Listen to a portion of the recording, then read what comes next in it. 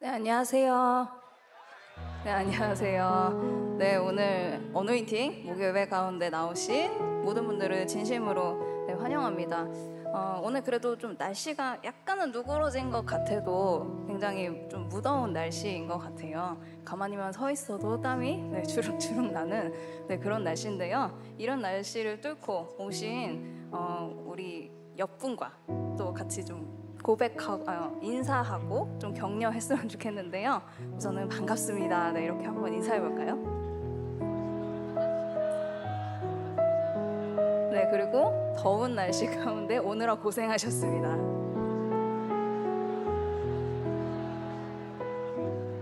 네, 이 굳은 날씨 가운데서도 네, 여기까지 오느라고 네, 모두 다 고생하셨습니다.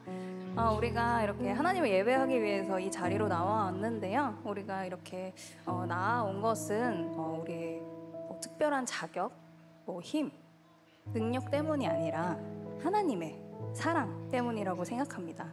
어, 우리를 향하신 그 사랑으로 자신을 기꺼이 내어주시고 그로 인해서 우리가 담대히 이 자리에 어, 나아올 수 있다고 생각하는데요. 어, 우리가 이 사랑을 기억하면서 오늘 예배했으면 좋겠습니다.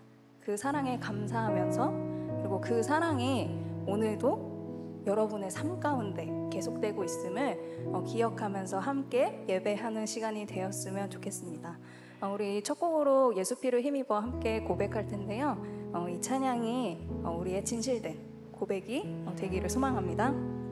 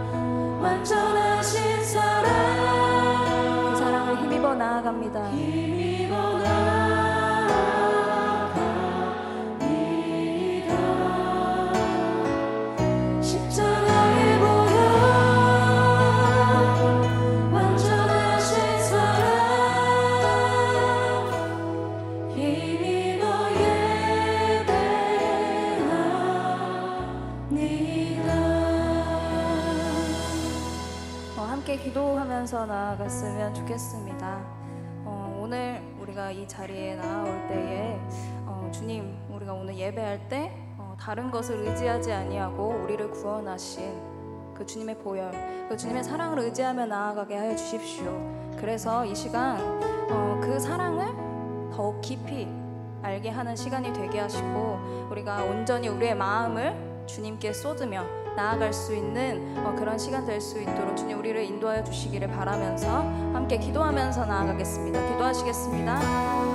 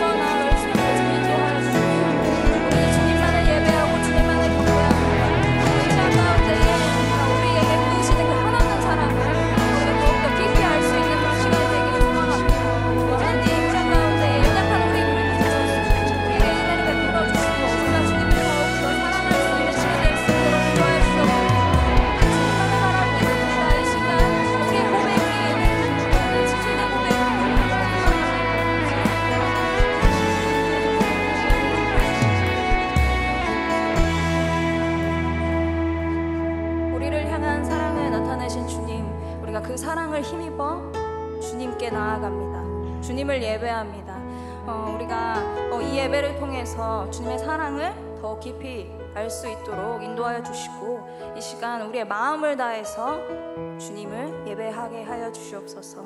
이 모든 말씀 예수 그리스도의 이름으로 기도합니다. 아멘. 우리를 향한 사랑을 나타내신 주님, 어, 그분의 사랑을 힘입어서 계속해서 주님 앞으로 나아갑시다.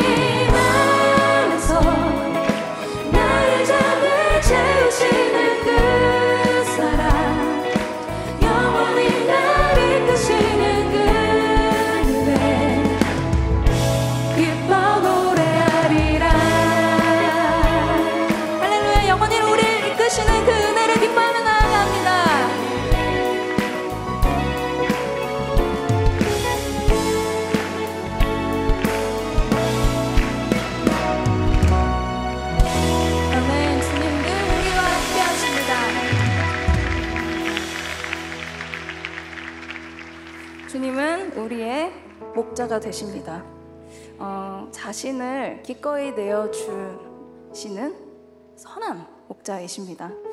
어, 주님께서 우리에게 이렇게 어, 선한 목자가 되어 주시는 것은 어, 바로 계속 앞에서부터 계속 얘기했지만 어, 하나님의 그 크신 어, 사랑 때문입니다. 어, 그 사랑으로 오늘도 우리를 인도하시며 그 사랑으로 오늘도 이 시간 가운데 우리를 다스리고 계십니다. 우리가 어, 하나님의 사랑을 계속해서 기억하면서 찬양했으면 좋겠습니다.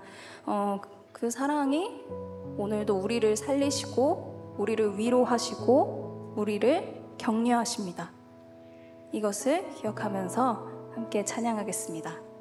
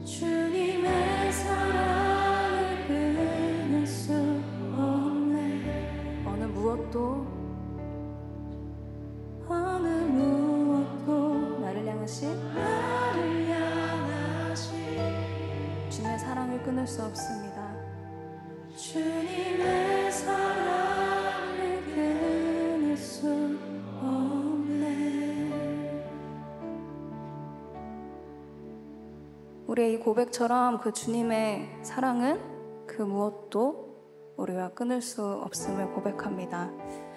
어, 우리가 때로는 우리의 연약함으로 또 우리의 흔들림으로 그 하나님의 사랑을 의심하기도 하고 음, 또 하나님의 사랑 안에 잊지 못하기도 한 것 같아요. 어, 하지만 그 사랑은 모든 걸 품는 사랑이고 자신을 기꺼이 내어주신 사랑입니다.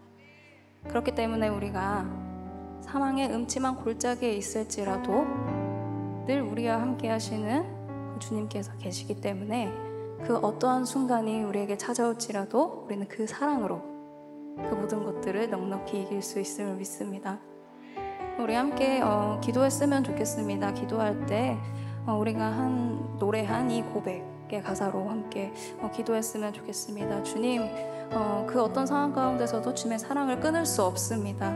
주님만이 우리의 능력이시고 구원이시고 또 주님만이 우리의 아픔을 하시고 우리의 모든 것이 되시는 분이십니다.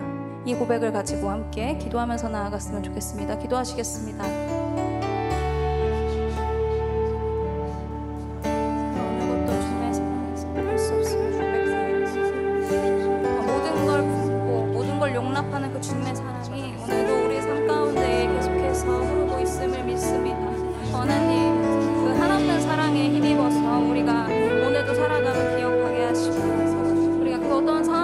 상황 가운데서도 주님 만을 바라보게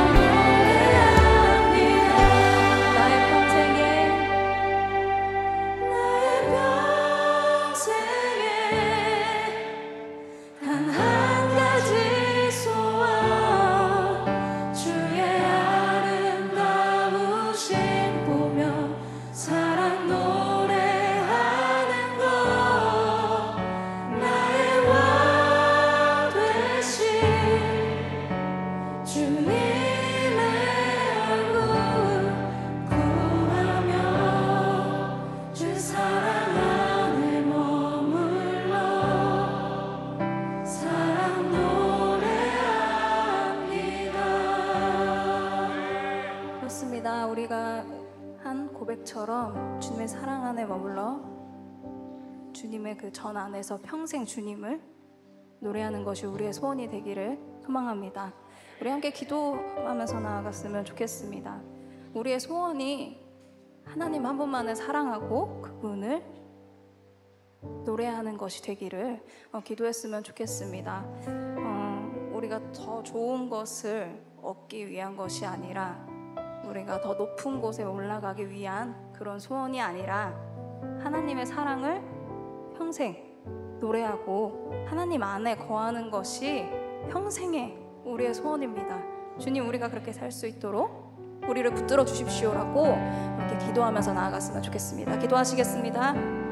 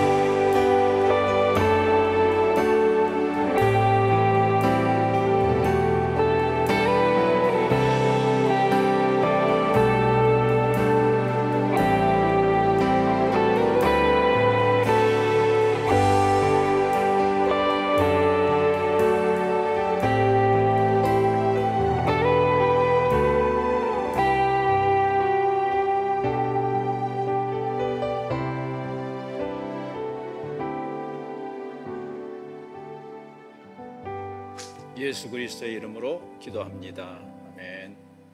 앉으시겠습니다. 초연 지도력. 보통 우리가 지도자가 된다는 것은 센터 스테이지에 쓰는 것으로 어, 생각하죠. 일반적인 생각입니다. 근데 성경은 지도력을 어, 대단하게 음, 일반적으로 우리가 상식적으로 생각하는 것과 다른 방식으로 어, 가르치죠. 예수님을 생각해 보세요. 예수님의 지도력. 예수님은 센터에 서지 않으시고 어, 출생부터 마국간에 오시고 어떤 왕족이나 어, 세력 있는 가문으로 오시기보다는 그냥 평범한 이웃으로 오시는 그것부터도 파격이죠. 그렇죠? 예수님의 존재와 삶, 그분의 가르침을 통해서 어, 우리는 무엇을 배우는가? 우리가 주님을 따르는 것인데 섬김을 받아도 되는 분이 섬김으로 지도력을 발휘했다. 대단히 이상한 얘기죠. 보통 우리가 지도자는 섬김을 받고 어, 그 따르는 자들이 섬기는 것이 세상의 논리인데 예, 주님은 섬기는 지도력, 굉장히 어, 두 단어의 조합이 맞지 않는 그런 방식을 택하시는 거죠. 그러니까 어, 우리가 예수님을 따라간다고 할 때는 어, 그 의미를 충분히 이해해야 되는 거죠. 그냥 우리 상식적인 종교의 논리로 끌고 가는 것은 아무 의미 없는 일이 될 것입니다. 그 예수님을 따라가는 성경에 많은 인물들이 있었죠. 이번에 우리가 어, 세 번에 걸쳐서 어, 바나바라는 인물을 통해서 그는 예수님이 모범이 되시고 가르치신 그 역할을 어떻게 이해하고 어떻게 소화해냈는가, 어떻게 자기의 존재와 삶으로 담아냈는가를 지금 보려고 하는 것입니다. 먼저 본문을 읽겠습니다. 11장 19절부터 제가 몇 절을 읽겠습니다. 그때 스테반의 일로 일어난 환란으로 말미암아 흩어진 자들이 베니게와 구브로와 안디옥까지 이르러 유대인에게만 말씀을 전하는데 그 중에 구브로와 구레네 몇 사람이 안디옥에 이르러 헬라인에게도 말하여 주 예수를 전파하니 주의 손이 그들과 함께 하심에 수많은 사람들이 믿고 죽게 돌아오더라. 예루살렘 교회가 이 사람들의 소문을 듣고 바나바를 안디옥까지 보내니 그가 이르러 하나님의 은혜를 보고 기뻐하여 모든 사람에게 굳건한 마음으로 주와 함께 머물러 있으라. 권하니 바나바는 착한 사람이요 성령과 믿음이 충만한 사람이라. 이에 큰 무리가 죽게 더하여 지더라. 바나바가 사울을 찾으러 다소에 가서 만남에 안디옥에 데리고 와서 둘이 교회에 1년간 모여 있어 큰 무리를 가르쳤고 제자들이 안디옥에서 비로소 그리스도인이라 일컬음을 받게 되었더라. 옆에서 돕는 리더십이라는 어, 생소한 개념을 어, 이해하고 또 바나바의 그 모범을 어, 묵상하기 위해서 우리가 이 문맥을 좀 볼 필요가 있어요. 단순히 겸손하자, 단순히 우리가 어, 상석에 앉지 말자 이 정도의 이야기가 아니고 그런 관점이 어디서부터 출발하는가를 이해해야 한다고 어, 앞부분에서 제가 이야기했습니다. 어, 예수 그리스도의 몸 된 교회가 이제 그 음, 지리적, 문화적, 인종적 장벽을 뛰어넘어가는 그 여정에 이 일이 일어나죠.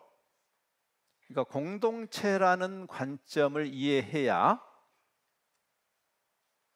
자기가 상석에 앉으려고 하는 지금 이 무한 경쟁의 시대에 남을 짓밟고 내가 1등이 돼야 하는 그런 시대 정신을 이길 수 있는 근거가 공동체성입니다.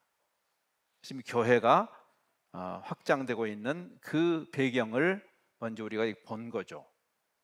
스테반의 그 순교 사건을 잘 아실 거고 그 일로 인해서 핍박이 일어났는데 하나님의 섭리 가운데 핍박을 피해서 많은 사람들이 산지 사방으로 흩어지는데 그 중에 여기 안디옥 지금의 시리아의 안디옥까지 사람들이 어, 남쪽으로 또 많이 도망갔겠지만 예루살렘을 기점으로 북쪽으로 어, 그 피신한 분들이 안디옥이라는 그 당시 로마 제국의 3대 도시에 이르러서 거기 가서도 생각이 우리 유대인에게만 어, 이렇게 제한돼 있는데 마치 우리 한인들이 전 세계에 한 180나라에 한 거의 800만 정도 되는 코리안 디아스포라가 흩어져 살고 있어요.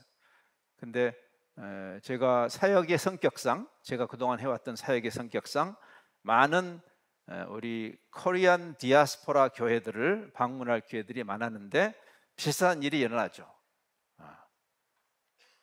베트남이나 인도네시아나 태국에 가서도 한인들 외에는 별로 관심이 없는 거죠. 미국이나 영국이나 캐나다, 호주에 가서도 거기 와 있는 한인들에게만 우리의 초점이 고정돼 있는 우리의 생각이 그 담장을 넘지 못하는 예수 그리스도의 우주적인 몸 나는 거룩한 공교회를 믿습니다 할 때 그 교회로는 어, 민족 교회를 말하지 않지요.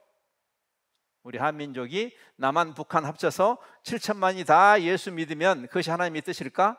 그 정도의 어떤 지형령이 아니시기 때문에 하나님은 그리스도의 몸은 거룩한 공교회, Holy Universal Church 를 향해서 가야만 하는 거고 그래서 이 본문에 이제 그 어떤 분들이 그걸 깨닫고 헬라인에게도 이방인에게도 어, 복음을 전하면서 최초의 다문화 다인종 어, 교회가 출발하는 거죠.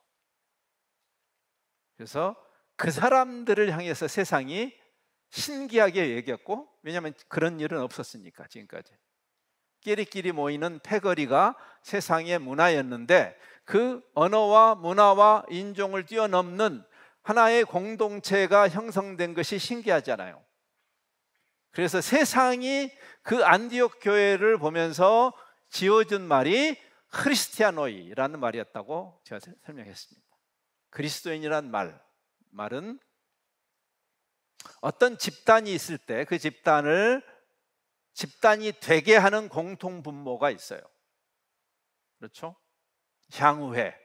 그러면 그 지역 사람들이 모입니다. 다른 지역 사람들이 그 향후에 안 와요. 그렇죠? 동문회. 여러분 중고등학교 우리 동, 동기들 모이자. 그러면 그 학교 출신이 오지 그 학교에 라이벌 학교 출신이 올 수는 없잖아요. 그 자리에. 그러니까 그 집단을 집단 되게 하는 한인회. 그러면 한인들만 오죠. 그렇죠? 거기 일본 사람이 오겠어요? 못 오지. 근데 이상한 집단이 하나 생겼는데 이 집단은 어떤 기준을 갖다 대도 안 맞아. 이 사람들이 함께 있어야 할 이유가 없어. 근데 함께 있는 거예요. 한 공동체가 형성되어 있는 거예요. 그래서 세상이 이 신기한 집단을 향해서 붙여준 별명이에요. 그리스도인이란 말은. 이들을 하나 되게 하는 유일한 기준이 그리스도를 따르는 자. 그게 교회예요. 그러니까 단순히 한인 교회 또는 무슨 충청도 교회, 전라도 교회, 제주도 교회 오늘 제주도에 사역하는 분을 제가 오늘 만났어요. 처음에는 그렇게 되는 게 자연스럽겠죠. 처음에 시작할 때는 그렇죠. 우리가 남이가 하면서 시작하겠죠. 그런 단계가 있어요. 유치하고 성숙하지 않은 단계가 있을 수 있어요. 근데 우리 대한민국에도 복음이 들어온 지 지금 120년이 넘었는데 120살 먹은 어린 아이가 돼서는 안 되는 거죠. 여러분 세대의 큰 숙제예요. 저를 포함한 여러분 앞 세대가 넘어가지 못했던 그 장벽을 넘어서 우리가 사도신경에서 고백하는 진정한 예수 그리스도의 공교회, 우주적인 교회가 구현돼야 되는. 자, 그런 상황에서 예루살렘 교회가 이 소문을 듣고 썩 기뻐하지 못했다라는 느낌, 느낌적 느낌. 이, 이 문맥이 있어요. 왜? 시찰단을 보내는 거죠. 왜? 예루살렘 교회는 유대인끼리만 모여 있었잖아요. 근데 아니 할례도 안 받은 이방인들이 교회를 로 모여서 운영한다고? 그래서 진상 파악을 위해서 특검까지는 아니지만 시찰단을 보냈는데 하나님이 개입하셔서 바나바라는 사람이 가게 되는 거죠. 근데 이 사람에 대해서 설명하죠. 본문에서 이 사람은 선한 사람이다. 믿음과 성령이 충만하다라는 그 표현은 우리가 그냥 막연하게 관행적으로 생각하면 아 종교 생활 열심히 하는 분이구나. 근데 그, 그런 의미가 아니었죠. 하나님의 섭리를 이해한 사람, 하나님의 뜻을 분별한 사람이란 뜻이에요. 성령님이 진리의 영으로서 그 안에서 이 일을 우리의 관행적 관점으로 보고 아이고 이방인들은 역시 안 되겠어. 많은 경우에 어떤 똑같은 사실을 보고도 그 평가나 판단은 우리의 선입견이 결정하는 경우가 많죠. 지금 이런 확증 편향적 양진영화의 문제입니다. 여러분은 그렇게 하면 안 돼요. 우리 앞 세대는 정말 바보 짓을 해왔고 지금도 하고 있습니다. 근데 이런 부분은 절대 따라가지 마세요. 확증 편향적 바보들. 근데 바나바는 왜 좋은 사람인가? 왜 바나바는 믿음과 성령이 충만했는가? 그가 하나님이 어떤 분인지, 그리스도를 통해서 하나님은 무엇을 이루려고 하시는지를 이해했기 때문에 그래서 기뻐했어요. 비판하기보다. 그리고 격려했고 그래서 그 새롭게 시작한 다문화 교회의 지도자로 가장 적절한 사람이 된 거죠. 자, 그러면 여기까지는 너무나 아름다운 이야기잖아요. 이렇게 해서 바나바가 거기에 좋은 안디옥 교회 지도자로 잘 할 수 있었을 거예요. 바나바를 볼 때 너무 또 그 예루살렘 교회 불편한 시선과 달리 이 최초의 다문화 교회를 보고 기, 진심으로 기뻐하고 격려하는 바나바라는 이름 자체가 격려하는 사람이라는 뜻이에요. 그러니 얼마나 그 안디옥 교회 성도들도 좋아했겠죠. 그렇죠? 잘할 수 있잖아. 근데 이제 오늘 우리가 마지막으로 보는 마지막 두 절을 보면 어, 현대 사회 이, 어, 이 시대적 가치, 뒤틀린 가치의 관점에서 보면 신자유주의 무한 경쟁의 관점에서 보면 바나바 생애에 최악의 악수를 두게 됩니다. 그게 마지막 두 절이에요. 바나바가 바울을 등용해내는 것이. 그것이 25, 25절과 26절입니다. 다시 한번 읽어볼게요. 25절, 26절. 바나바가 사울을 찾으러 그 당시 이제 사울 사울이란 이름 또 바울이라는 이름은 어, 히브리적 이름과 헬라적 이름의 차이예요. 사울은 조금 더 어, 히브리어. 여러분 구약 성경에 사울 왕이 있잖아요, 그렇죠? 히브리어적 이름이에요. 근데 그게 이쪽 어, 그 당시에 로마 제국의 공용어가 어, 그리스 말이죠, 헬라어. 근데 헬라어로 가면 파울루스 바울이 되는 거죠. 그러니까 무슨 뭐 특별하게 의미 있는 이름의 변화를 어, 거기에 의미 부여를 꼭 할 필요는 없을 것 같습니다. 일단 그 당시에 사울로 알려져 있었죠. 근데 바나바가 아니 지금 묻혀 있잖아요. 다 잊어먹었어 바울을 그렇죠? 교회를 핍박하던 그 나쁜 녀석 그 정도의 기억으로 그렇죠? 근데 다메섹 도상에서 이 사도행전 9장에 가면 다메섹 이 교회를 핍박하기 위해서 다메섹 다마스커스까지 가던 중에 예수님을 만난 사건 잘 아시죠? 근데 그렇게 예수님을 만난 다음에 바울이 잊혀진 사람이 되죠. 그래서 초야에 묻혀 있는 10년 이상을 아무도 바울을 기억해내지 않고 있는데 왜 굳이 바나바가 바울을 기억했을까? 우리가 기억까지는 할 수 있죠. 예. 근데 기억하는 정도가 아니라 자기도 여기서 리더십을 잘 발휘할 수 있지만 그리스도의 몸 된 교회, 이 공동체를 위해서 나도 내 역할이 있지만 나보다 더 중요한 역할을 할 바울을 기억해내고 기억해낸 것만 해도 대단한데 실제로 찾아가요. 먼 길을 여러 날을 뭐 지금처럼 KTX 타고 간 건 아니, 아닐 테니까 그렇죠? 예. 그러니까 일부러 그것도 바울이 어디 있는지 이렇게 인터넷으로 검색해서 갔을까요? 예? 바울의 블로그가 있나 한번 보자 해가 찾아가지고 예? 아니죠. 수소문해서 그래서 바울이 있을 만한 곳을 찾아간 거예요. 여기에 디테일하게 그 과정이 기록되진 않았지만 그 바나바의 그 중심을 볼 수 있어요. 그래서 바울을 마침내 찾아내는 거고 바울을 등용해서 안디옥에 함께 와서 같이 리더십을 발휘하는 것이 현대 정신에 의하면 최악의 실수예요. 왜? 자기가 조연으로 밀려나는 사건이기 때문에 그렇습니다. 제가 이 25절과 26절을 가지고 이것만 가지고 설교한다면 제목을 이렇게 붙여봤어요. 잊혀질 결심.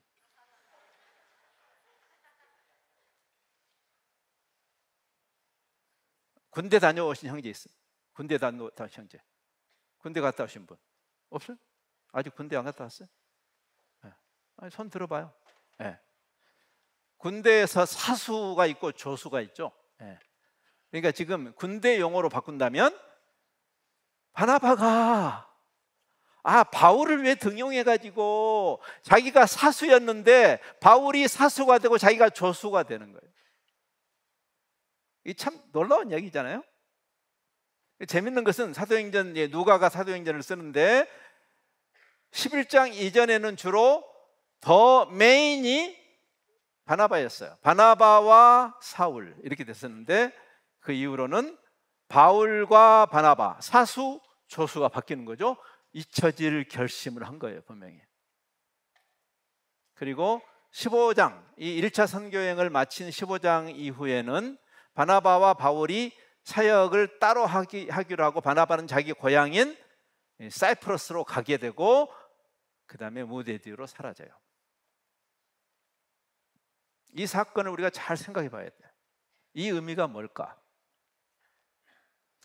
이 시대는 심지어는 교회에서조차도 예수님 덕분에 1등 하라고, 1등 하라고 무슨 신앙 간증을 해도 꼭 1등 한 사람들이 나와가지고 우리 같은 보통 사람들의 이 자존심을 건드리는 그런 교회 문화 안에서 여러분은 어떤 부르심 앞에 서 있는지를 자기 점검을 해야 되는 거예요. 왜? 어차피 1등은 한 명밖에 없어.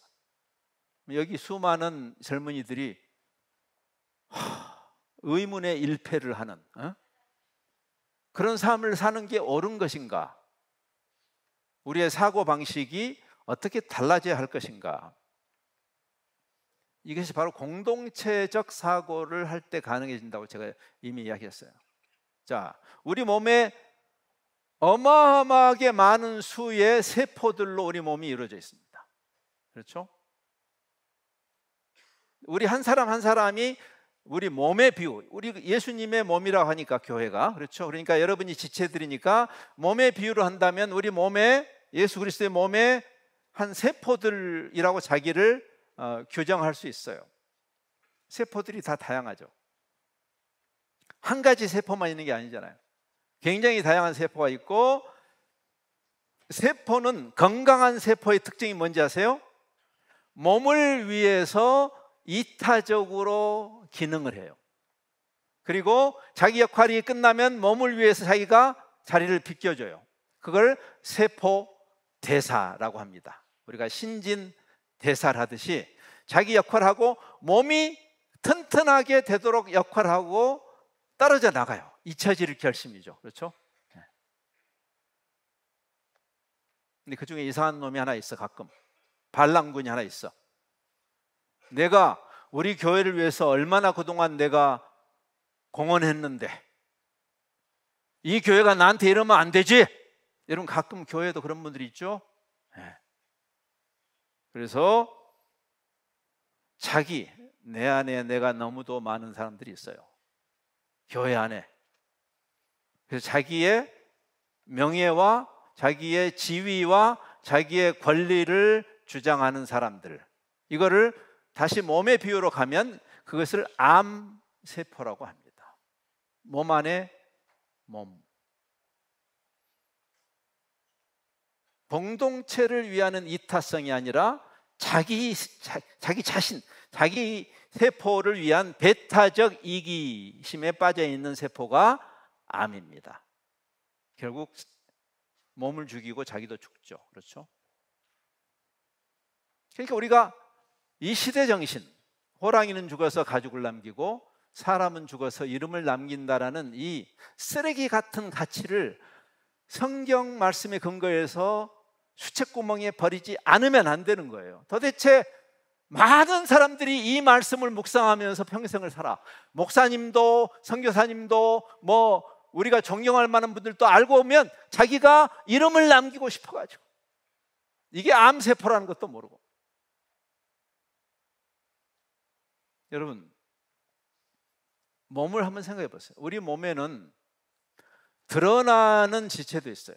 손, 발, 머리, 코, 눈, 입. 그럼 우리는 보통 외모로 사람을 판단하잖아요. 그렇죠? 드러나는 것을 가지고. 근데 실제로 여러분이 몸을 생각해 보세요. 드러나는 지체도 중요해요. 그렇죠? 손이 얼마나 중요해요. 발이 중요하지. 코가 없으면 냄새를 못 맡죠. 귀가 없으면 듣지를 못하죠. 입이 없으면 어떻게 말을 하겠어요? 눈이 없이 어떻게 보겠어요? 다 중요해요. 드러나는 지체도 중요한데 한번 생각해 보세요. 진짜 중요한 지체들 중에 보이지 않는 지체가 더 많아요. 맞죠? 심장. 그렇죠? 우리 몸 안에 여러 그 장기라든지 우리 몸의 뇌라든지 우리 몸 안에 있는 척추 뭐 안 보이잖아. 그러면 여러분이 자기를 놓고 이 신자유주의 세상에서 주님 누구는 도라지 먹고 누구는 인삼 먹습니까? 왜 쟤는 저렇게 잘 나가고 나는 이 모양입니까? 라고 말하는 그 논리가 뭐예요?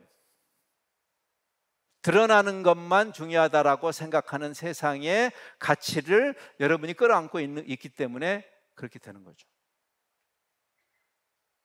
드러나지 않는 것이 훨씬 더 중요한 게 많아요. 바나바는 왜 잊혀질 결심을 할 수 있었을까요? 자기가 한 지체로서 어떤 부분인지를 이해한 거예요. 바울이 없이 자기가 하면 할 수도 있어. 그렇지만 바울이란 사람의 역할이 그리스도의 몸을 위해서 훨씬 더 중요하다라고 판단한 거예요. 그래서 기꺼이 잊혀지기로 한 거죠. 교회론은 우리가 교회죠. 교회론은 공동체론이고 공동체론은 지체론이에요. 지체론. 그래서 바울 서신이나 이 신약 성경의 서신서에 교회를 이야기할 때마다 나오는 게 지체론이에요. 그걸 또 다른 말로는 은사론이라고 합니다. 은사론. 다양한 지체가 다양한 다른 은사를 가지죠. 그렇죠? 코의 은사가 다르고 귀의 은사가 달라요. 코가 귀의 은사를 달라고 하면 안 되는 거예요. 그래서. 그런 하나님의 섭리를 거스르는 거예요. 전부 1등 하겠대. 전부 센터 스테이지에 서겠대. 망하는 겁니다. 전부 암덩어리가 돼 있다는 말밖에 안 되기 때문에. 그래서 그 바울의 교회론, 은사론, 지체론에 관한 한 구절만 읽고 이제 결론을 하겠어요. 그 유명한 로마서 12장에 있는 말씀입니다. 로마 12장 로마서 12장 2절부터 이렇게 돼 있어요. 2절에 우리가 생각이 바뀌어야 된다. 회심이죠. 회심. 생각이 바뀌어야 된다는 말이에요. 너희는 이 세대를 본받지만 이 세대 방금 제가 설명했죠. 자기를 드러내려고 하는 이 세대를 본받지 말고 마음을 새롭게 함으로 변화를 받아. 이것이 회심을 풀었단 말이야. 회심. 생각이 바뀌어라. 생각이 바뀌어라. 우리 젊은이들아. 1등 1등만 하려고 하지 말고 생각을 바꿔라. 마음을 새롭게 함으로 변화를 받아서 그러면 어떤 것을 향해서 마음이 변화되냐면 하나님의 뜻을 향해서 하나님의 선하시고 기뻐하시고 온전하신 뜻 나를 향한 하나님의 뜻은 뭘까? 나는 어떤 지체로 부르셨을까? 나에게 주신 은사는 뭘까? 내가 보이든 보이지 않든 나를 통해서 예수 그리스도의 영광스러운 몸이 세워지는 그 길은 뭘까? 그 얘기를 하는 거예요. 하나님의 선하시고 기뻐하시고 온전하신 뜻. 그러면서 바울은 그것을 이렇게 풀었어요. 이 교회론, 지체론, 은사론이에요. 내게 주신 은혜로 말미암아 너희 각 사람에게 말한다. 여기는 각 사람에게 말, 지금 바울이 말하는 거야 한 사람 한 사람에게 형제, 자매 잘 들어. 마땅히 생각할 그 이상의 생각을 품지 말아라. 나를 쓸개로 부르셨으면 쓸개 역할을 해안 보여도, 예? 쓸개 쓸개 빠진 사람 되지 말고. 괜찮았어요 아직 이거? 예. 마땅히 생각할 그 이상의 생각을 품지 말고 오직 하나님께서 각 사람에게 나누어 주신 믿음의 분량대로 하나님이 우리를 은사를 어떤 사람은 아까 얘기했잖아요. 어떤 드러나는 어, 지체로 부르시고 어떤 사람은 안 드러나는 지체로 괜찮아요. 근데 그 분량대로 지혜롭게 생각하라. 그러면서 이렇게 말해요. 우리가 한 몸에 다양한 지체들이 있지 않냐? 모든 지체가 같은 기능을 가진다면 이거는 몸이 망하는 거다. 모든 사람이 top 리더가 돼야 돼요. 모든 사람이 어떤 오늘 제가 이제 또 한 만난 한 그룹은 우리나라의 소위 그 어려운 사람들을 돌보는 굉장히 유명한 체리티 단체의 리더들을 만났어요. 오늘 점심 때.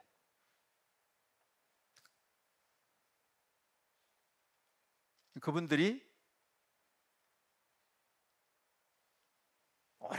큰 짬바가 오래돼서 거기서 상당히 에, 그 소위 그 이, 높은 리더십에 위치해 있는 사람도 있고 지금 아직 젊지만 굉장히 유능해서 그 어떤 ambition을 가지고 내가 언젠가는 저 어, top 리더를 향해서 가야겠다라는 생각을 갖고 있는 젊은 중간 리더도 있었어요. 오늘 같이 밥 먹은 사람들 중에.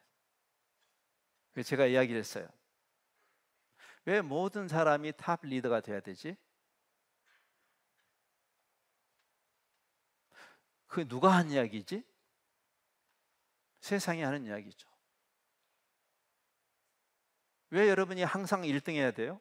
왜 여러분이 이 세상에 가장 돈을 많이 버는 사람이 돼야 돼요? 왜 이 사람이 여러분이 최고 권력자가 돼야 되죠? 그럼 예수님이 뭐- 보여주신 모델은 뭐예요? 실패 모델인가요, 예수님은? 그 얘기를 하는 거예요. 같은 기능을 가진 게 아니지 않냐? 이와 같이 우리 많은 사람이 그리스도 안에서 한 몸이 되어 서로 지체가 되었다. 건강한 지체의 특성이 뭐라고요? 이타적으로 공동체를 세우는데 자기를 드리는 것이.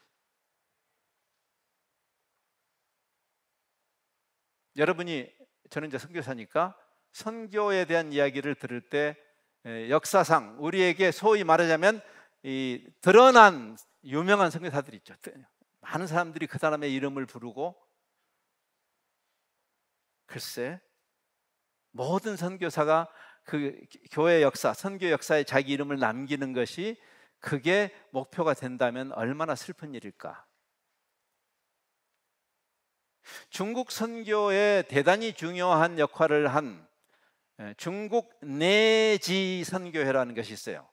CIM, China Inland Mission이라는 거, 이 선교단체가 1865년에 세워졌어요. 그 어, 중국 내지 선교회를 세운 어, 그 출발한 분이 허슨 테일러란 분이요. 여러분 허슨 테일러는 많이 들어봤죠? 뭐 허슨 테일러도 훌륭해요. 근데 이제 중요한 건 이거예요. 그럼 모든 사람이 허슨 테일러처럼 돼야 돼요? 허슨 테일러도 존경할 만한 분이고 그분은 드러나는 역할로 하나님이 부르셔서 그 역할을 한 거예요. 그분은. 근데 허슨 테일러는 많은 사람들이 기억하지만 그 사람의 후임으로 마치 모세를 이어서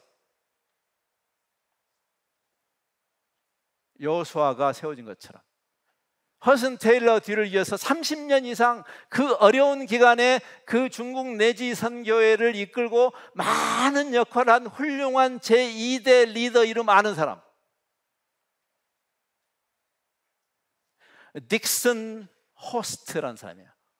딕슨 호스트라는 사람의 이름을 아 나 들어본 적 있어. 한번 손 들어 보세요. 솔까? 없죠 여기 단 한 명도 없죠.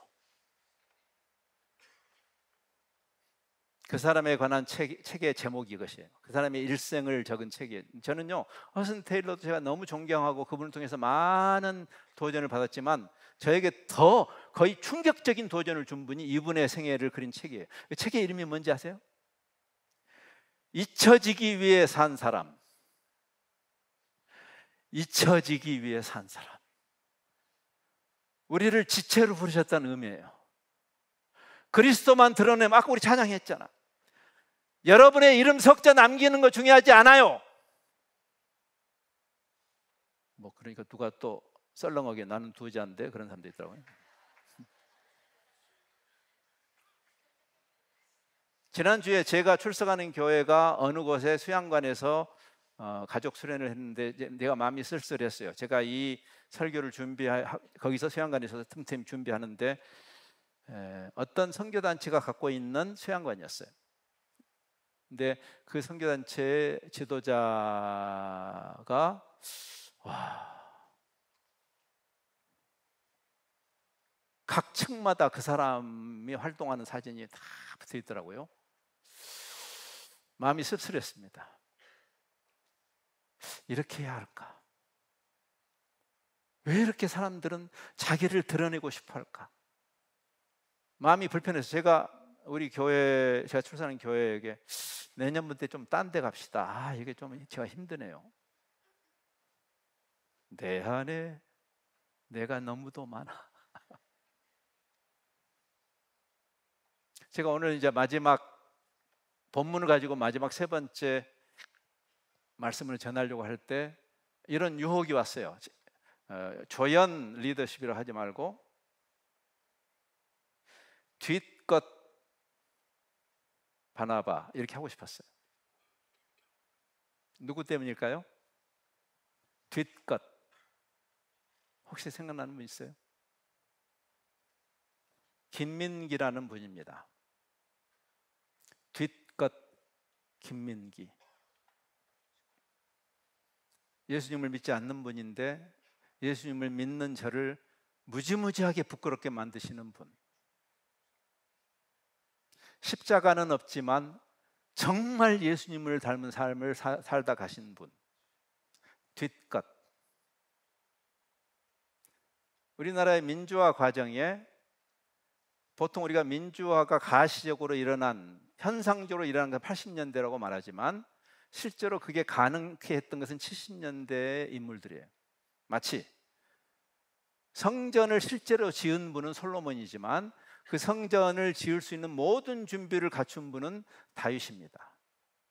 70년대 민주화의 초석을 이룬 김지하, 전태일 그리고 김민기라는 분이 있어요. 자기들 자기들을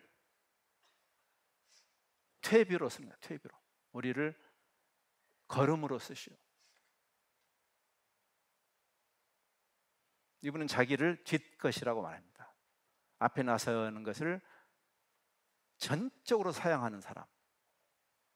탁월한 천재적인 음악가가 진짜 음악을 잘하는 사람들에게 그 음악 노래를 주고 그들이 그 일을 하게 하는 죽을 때까지 자기를 드러내지 않은 진심으로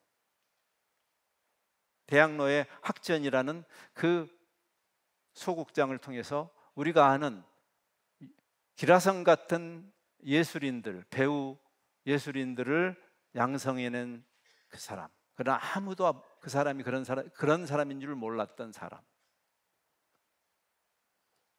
예술이라는 가치를 위해서도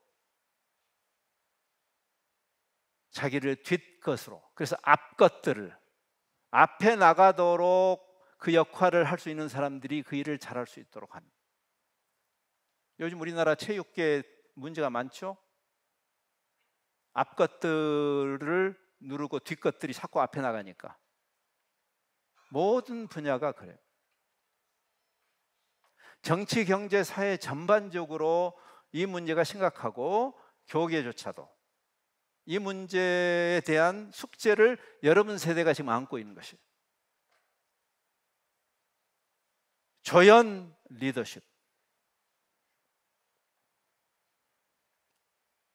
김민기의 노래 중에 가장 우리 크리스천들의 가슴을 때리는 노래가 금관의 예수라는 곡입니다. 그 가사는 김, 김지아 시인이 썼고 이분이 곡을 입혔습니다. 금관의 예수. 좀 섬뜩하지 않습니까? 예수님은 가시관을 쓰셨는데 우리는 예수님에게 금관을 씌우고 우리도 금관을 금으로 된 관을 쓰고 싶다고 교회가 크리스천들이 거기에 대한 아우성과 같은 곡입니다. 선교 역사를 읽어보면 이런 바나바처럼 자기의 역할을 성실하게 감당하지만 역사의 페이지에 이름을 올리지 않은 수많은 무명의 인물들이 있습니다. 제가 성교 역사를 읽으면서 제 가슴을 굉장히 어, 아른하게 했던 이 책이 나온 지는 좀 됐지만 기독교 성교 역사라는 어, 이름으로 책이 많은데 그 중에 스티븐 닐이라는 사람이 쓴 지금부터 한 50년 전에 쓴 기독교 역사입니다. 여러분이 기회가 되시면 한번 읽어보세요. 그 책을 읽을 때 저는 어, 한 문구가 제 가슴을 때렸습니다. 그는 이렇게 쓰고 있습니다. 2000년 선교 역사는 우리에게 이름이 알려진 기라성 같은 그 유명한 선교사들 때문에 2000년 교회 역사가 있는 것이 아니다. 그랬어요. 물론 그분들도 참여했지만 그분들 때문에 2000년 선교 역사가 있는 것은 아니다. 그보다 훨씬 더 많은 우리에게 이름이 알려지지 않은 수많은 여러분이 여기 동작동 국립 묘지를 가보면 정말 우리를 감동시키는 묘지가 어떤 건지 아세요? 우리 역사책에 이름이 하는 유명한 무슨 장군들 빛가반짝하게 되어 있는 그 무덤보다 우리를 감동시키는 무덤은 무명용사의 묘지죠. 이름도 없이 빛도 없이 우리 찬송은 잘 부르잖아요. 이름 없이 빛도 없이. 근데 이름 없이 빛도 없이는 아무도 원치 않아. 근데 그 무명용사의 묘. 그 이야기를 하는 거예요. 지금 오늘날 교회가 여기까지 올 수 있었던 것은 우리가 나중에 완성된 주님의 나라에서 비로소 만나게 될, 아, 당신도 그때 그 역할을 했던 분이군요. 그 무명 용사들, 무명의 그리스도인들, 무명의 사역자들이 오늘의 교회를 있게 했다라고 그는 역사가로 쓰고 있어요. 그러면서 그들의 이름이 우리에게 알려지지 않은 것만큼 우리를 감동시키는 것은 없다 그랬어요. 한번 곱씹어 봐야 할 말이죠. 그들의 이름이 우리에게 알려지지 않았다는 것만큼 우리를 감동시키는 사실이 없다.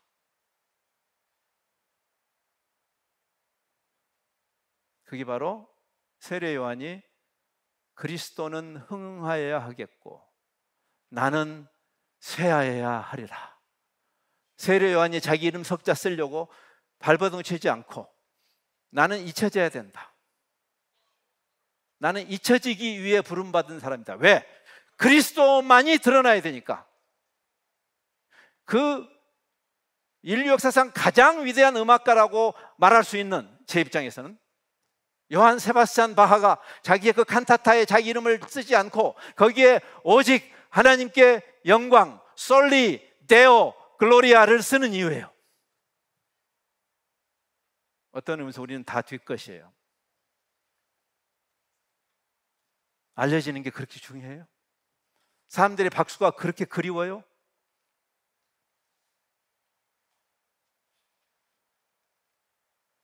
자, 이제 이제 마무리해야 되겠네요. 바나바는 어떻게 그 그렇게 한참 잘 나갈 때 무대 뒤로 갈 수, 무대 뒤로 사라질 수 있었을까? 한번 생각해 보세요. 지금 제가 언급한 수많은 사람들이 온 세상이 1등 하려고 하고 센터 스테이지에 서려고 하는데 교회에서조차도 근데 어떻게 그렇게 이름 없이 빛도 없이 사라질 수 있는 용기와 근거가 무엇일까 이야기를 하고 제가 마치려, 마치려고 합니다.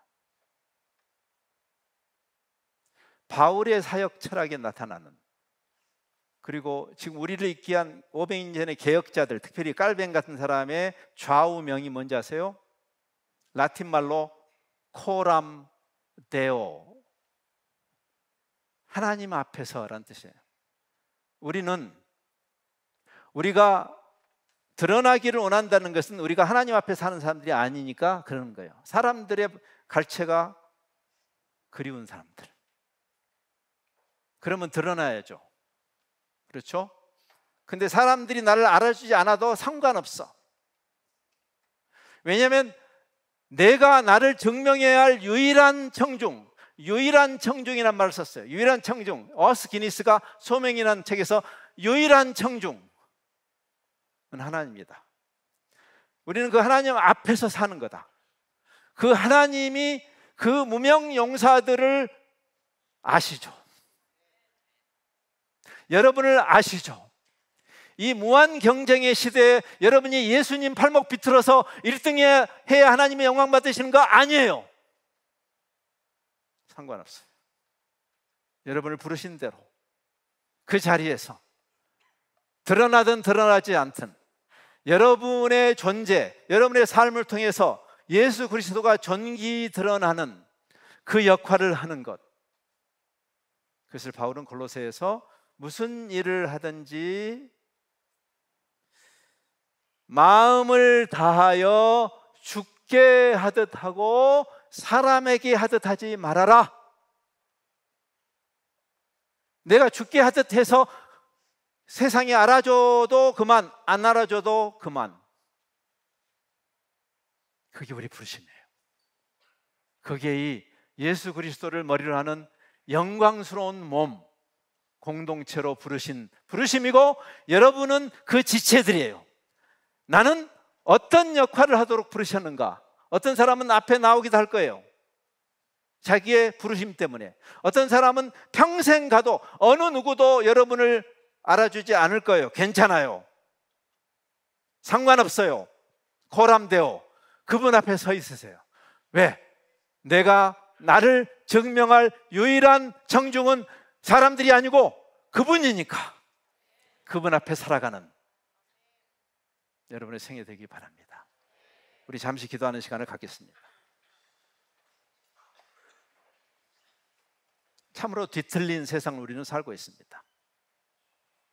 세상은 당연히 그렇지만 우리 기독교계조차도 너도 나도 1등 하려고 하고 너도 나도 자기를 드러내고 싶어서 자기 안에 자기가 너무나 많은 사람들 때문에 혼탁한 시대를 살고 있습니다. 우리 젊은이들에게도 1등 하라고.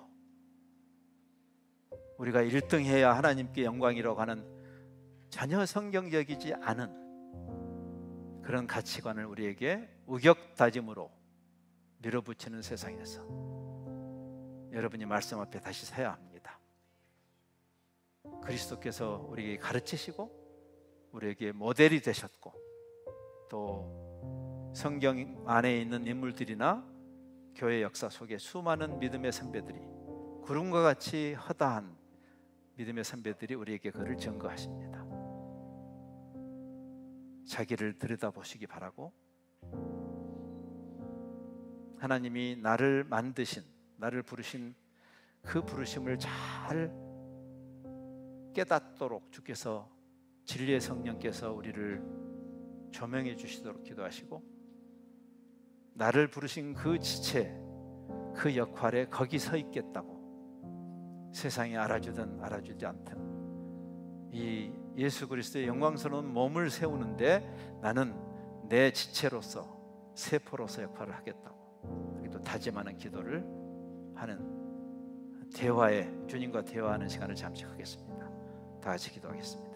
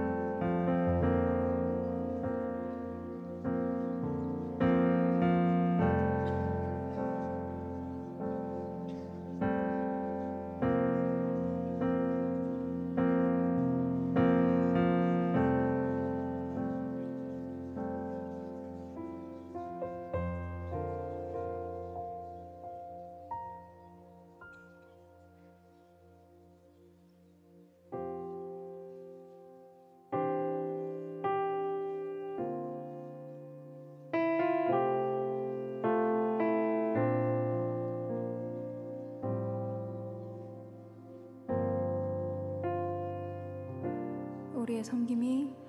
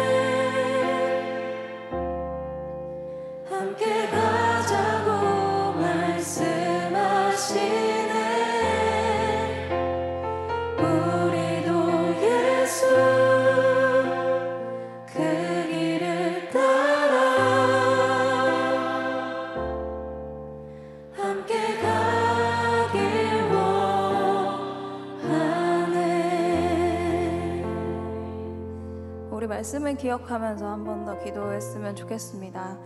어, 이렇게 세 번에 나눠서 이렇게 말씀해 주셨는데요. 말씀을 들을 때마다 느끼는 것은 세상에서 우리에게 요구하고 그렇게 살아야 해라고 하는 것과는 정반대의 어, 말씀이잖아요.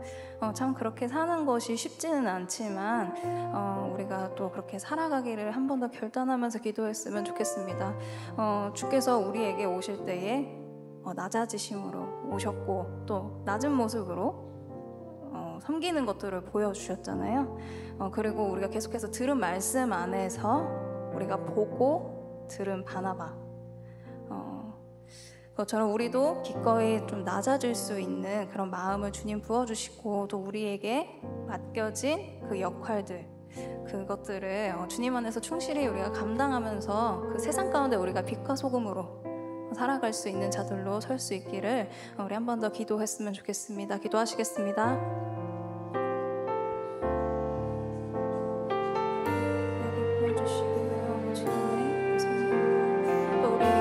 말씀을 통해서 말씀하신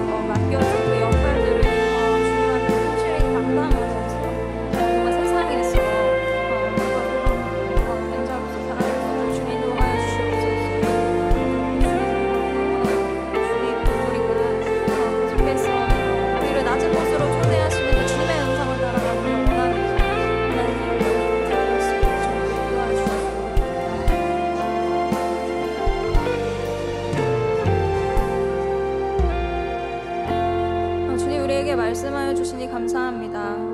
어, 어쩌면 우리가 어, 주님 안에서 살아가야 할 삶의 모양은 어, 세상이 이야기하는 것과는 너무나도 다른 모습일 때들이 있습니다. 어, 하지만 그럼에도 음, 주님 안에서 어, 주님을 따르는 자로 살아가는 것은 주님께서 우리에게 보여주신 그대로 우리가 어, 누군가를 어, 섬기고 또 그 낮아지심을 따라서 우리도 그렇게 살아가는 것일 줄 믿습니다.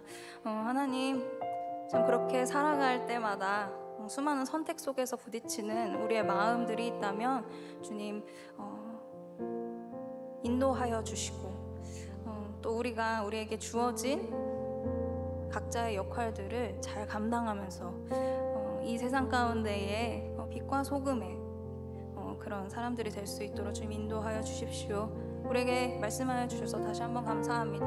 어, 이 모든 말씀 예수 그리스도의 이름으로 기도합니다.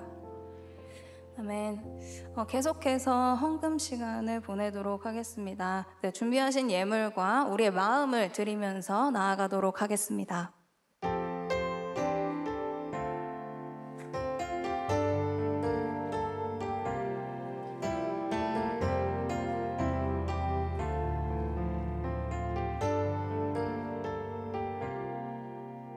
말씀 앞에선 주의 말씀 앞에서 당신은 참된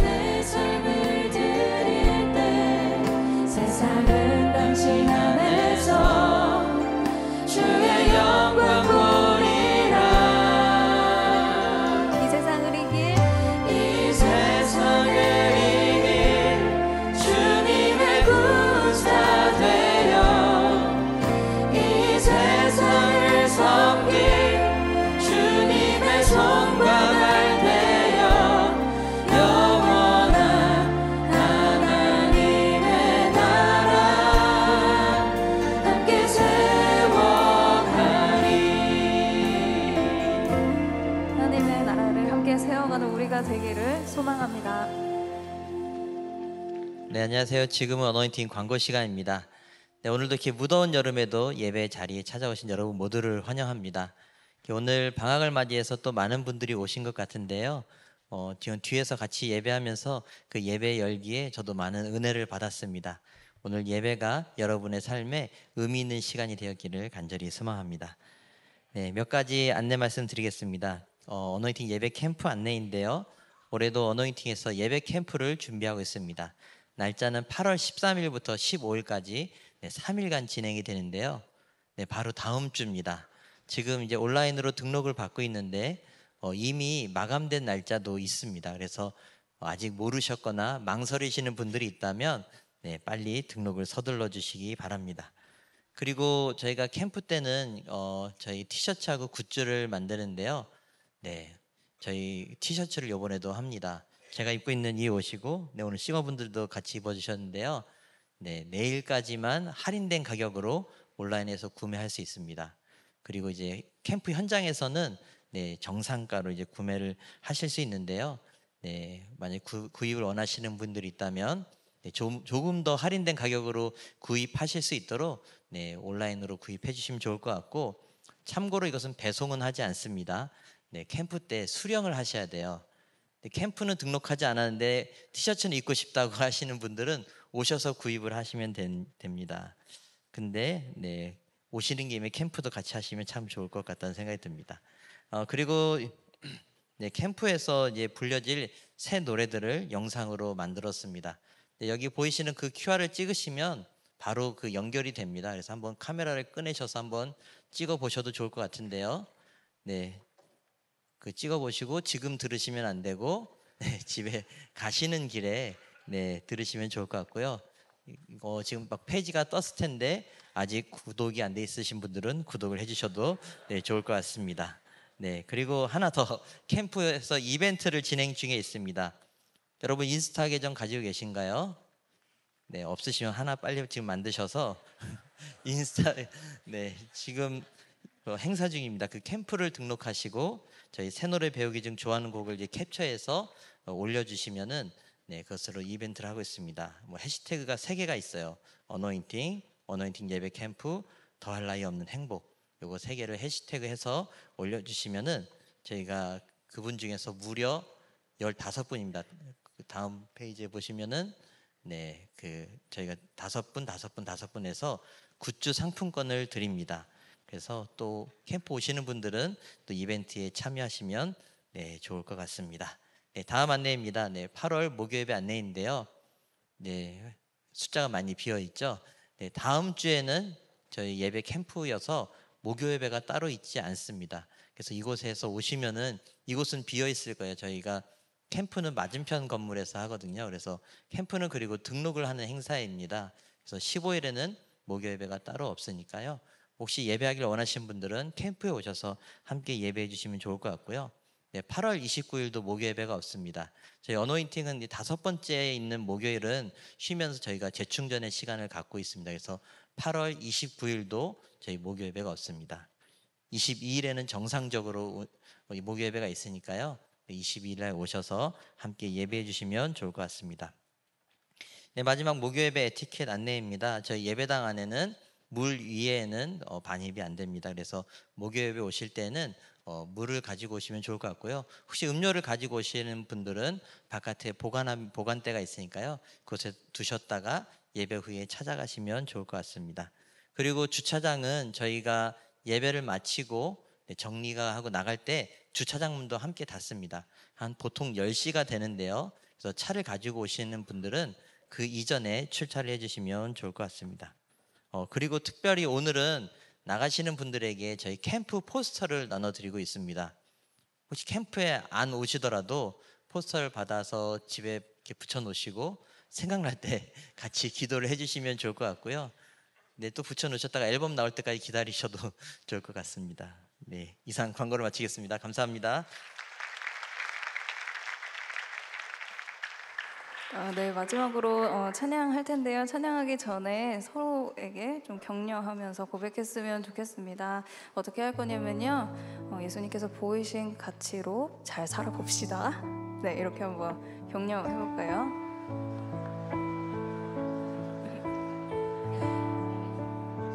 네, 우리가 어, 그리스도 안에 속한 자들이기 때문에 우리가 따라야 할 가치는 그분께서 보이신 가치입니다.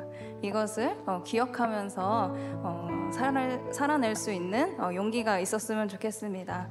어, 함께 마지막으로 찬양할 텐데 어, 이 찬양의 고백이 어, 진정한 우리의 고백이 되기를 원합니다. 어, 교회된 우리 한 사람 한 사람 그리고 우리의 공동체가 주님께서 어, 말씀하신 대로 행하면서 살아갈 수 있는 어, 자들이 되기를 어, 선포하면서 나아가도록 하겠습니다.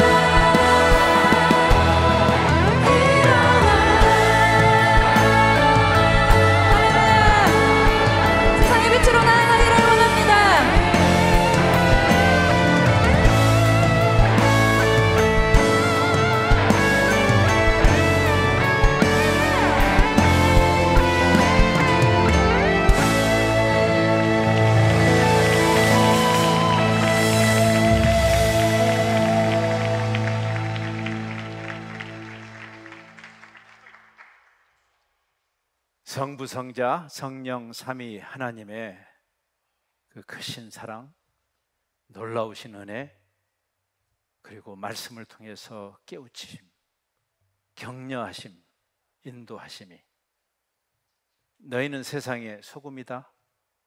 너희는 세상의 빛이다.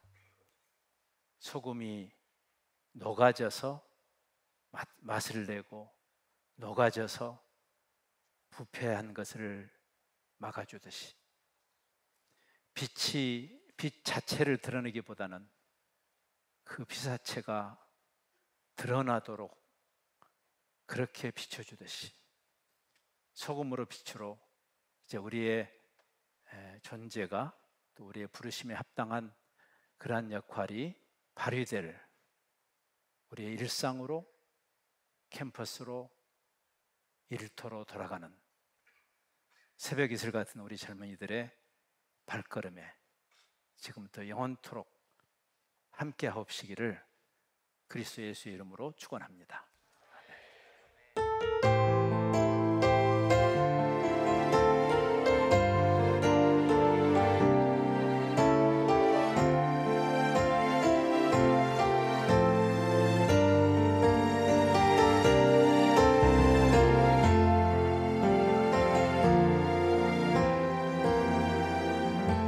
네, 예배를 마쳤습니다. 남은 한 주도 평안한 한 주 되세요. 감사합니다.